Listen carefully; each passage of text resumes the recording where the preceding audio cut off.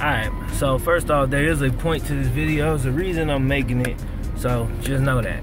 Alright, so real quick, man. Let me just tell y'all. Let me just tell y'all what happened, bro. She gonna be mad I'm telling this, but you know, it's a part of life and it's one of it's the type of shit that happens. So check it out. Give y'all some context first. So, you know, me and my girl been together 10 years. Ever since college. Like her first year in college, she came and snatched up. Boom. Here. Ever since then, you know, rocky situations, rocky times, things like that, whatever. But ultimately, we've been together, right? A year ago, we had a kid together. And so now, you know, that's what it is. That's life. We work. You know what I mean? I do YouTube. She has a she has her job, and we take care of our son together. Every week, we try. It doesn't happen every single week, but we try every week to have a social night with us two together, like a date night. You know what I mean? To keep the keep the romance fresh. You know what I mean? And then we also like to have an individual night, social night, right? So hers is usually on the weekend, Friday, Saturday, Sunday. My shit is actually usually during the week sometime. Like I'll just go chill. I might go to the pool hall, go to my partner's house, watch the game, shit like that. You know what I'm saying? Just whatever fuck I want to do, whatever fuck she want to do. So last night, a coworker had a party. She went to the party. Now, she took my car, which don't make no goddamn sense because her car, I just paid. Did I pay for it? Wait. Her car just got a tune-up. I, I think she actually paid for it this time.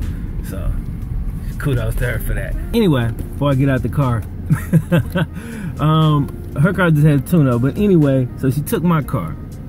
She hit something, flattened my tire. The police came to help her, you know, put the spare on. Then, for whatever reason, he asked see her insurance. I'm like, bro, just help her put the fucking spare on. Why are you even asking for that? Anyway, he asked for it. She doesn't know where it is in my car. I'm trying to place it in my mind. I think I know exactly where it is. Told her that whatever she wasn't processing when registering, she couldn't find it. Or maybe it's just not there where I said it was. I don't know. I'm not. I don't have my car back yet, which I'm about to get to. So I really can't say whether it's where I said it was or whether it wasn't, because I don't know yet. Either way, they told my shit, man. Told my fucking car. It's gone. So now, not only do I have a flat tire that I have to replace, my car got towed, so I gotta go get it from the tow people tomorrow. It's Sunday. But not only that, not only that, to get it, I gotta go to the DMV because I gotta show proof of insurance first. Then I gotta pay a fine in the, DMV. Like who knows how long that's gonna take. Then I gotta drive all the way out to the damn tow place, which is probably about another hour away. And then when you add traffic to that, who knows? Then I gotta get my car. I'm gonna have to pay another fine for that. Y'all already know. Then obviously I gotta pay for the two tires. This is gonna burn up my entire day. Hopefully I can get it done in one day. Hopefully it doesn't cost me too much money, but honestly in my mind I'm thinking this is gonna probably cost me between the fines, getting my car back, the tires. This is gonna probably cost me anywhere between about four hundred dollars to about a rack. And I'm pissed about it, but you know, it's noon now. I've kind of calmed down. I just went for a drive and shit. You know what I mean? Got to calm down a little bit. But with all that being said, so now I can't shoot no videos tomorrow because I ain't gonna have no time. So you know what I'm about to do on my day? It's not even a day off, right? I got up at 4 this morning. I made a video. I posted it. I only post one video on the weekends. I chill the rest of the day.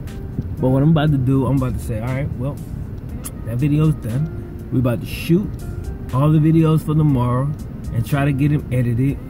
It's probably gonna take me the rest of the day to do that. Usually, it's like three videos. So man, we talking, we talking like five to eight hours. We about to go in. It's noon now, so it'll be dark by the time I finish. Well, I might, I might be able to finish quicker. I don't know.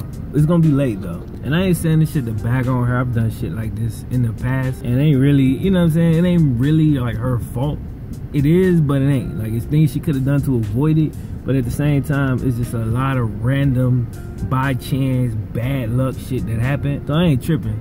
The point of this like i said that there would be a point is that man shit go wrong man. Circumstances happen things happen but you still have to get it done. You still got to get it in bro. I'ma still get all my videos up and other than the people who watch this video over on this channel people ain't gonna know no difference hopefully you know what I'm saying? People won't know the difference. They'll think I did my same routine, woke up, shot my shit, edited it, boom, nothing wrong. They ain't gonna know that I ain't gonna be in the comment section because I'm moving around, fucking trying to get everything situated and losing a whole bunch of bread.